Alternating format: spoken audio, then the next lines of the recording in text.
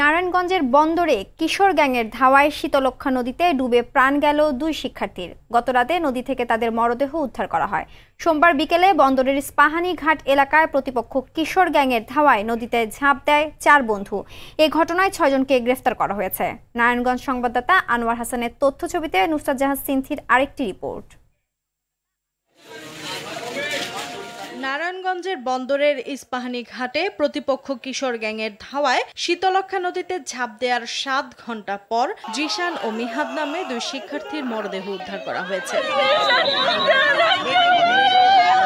নিহতের স্বজনরা জানায় সোমবার বিকেলে প্রতিপক্ষের ধাওয়া খেয়ে শীতলক্ষা নদীতে ঝাঁপ দেয় চার বন্ধু। এ সময় দুইজন সাঁতরে তীরে উঠতে পারলেও দুজন সাঁতার না জানায় ডুবে যায়। রাত এগারোটার দিকে মরদেহ উদ্ধার করে স্থানীয় জেলেরা। আমার পোলা সন্দেহ করে এইভাবে মারছে।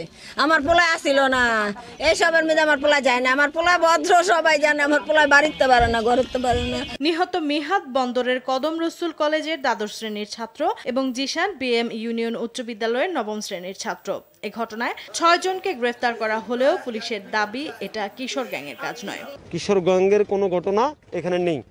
বাদী নিজেই বলেছেন জায়গা জমিন সংক্রান্ত পূর্বশত্রুতার ধরে এই ঘটনা ঘটতে পারে।